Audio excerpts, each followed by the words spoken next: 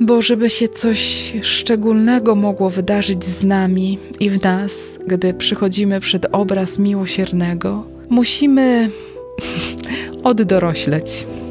Trzeba się stać dzieckiem, ufnym, prostym. I oczami dziecka spojrzeć na ten obraz, spojrzeć po prostu z wiarą.